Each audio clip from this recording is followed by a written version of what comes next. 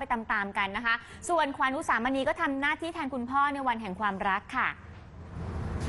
วาเลนไทน์ที่ผ่านมานอกจากนางเอกหน้าตุ๊กตาขวัญอุสามณีจะแลกของขวัญแทนใจกับเพื่อนชายคนสนิท หนุ่มอ้าย ลูกชายนายตำรวจใหญ่แล้ว ยังไม่ลืมเรื่องสำคัญที่เจ้าตัวทำเป็นสิ่งแรก ในเช้าตรู่วันแห่งความรัก และไม่เคยลืมสักปี อย่างการแสดงความรักด้วยการมอบดอกกุหลาบช่อโต ให้คุณแม่ปราณี แทนคุณพ่อที่จากโลกนี้ไปแล้วเกือบ 5 ปีค่ะ คุณแม่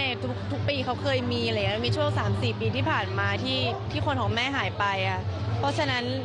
ขวัญครึ่งหนึ่งขวัญเป็นของคุณพ่อ ครึ่งหนึ่งขวัญเป็นของคุณแม่ เพราะฉะนั้นขวัญก็เลยอยากทำหน้าที่แทนคุณพ่อโดยการที่มอบดอกไม้ให้แม่อะไรอย่างเงี้ยค่ะเราเราอยากให้แม่มีความสุขอะค่ะ เรามีแม่แค่คนเดียวเหลือแม่แค่คนเดียวอะค่ะ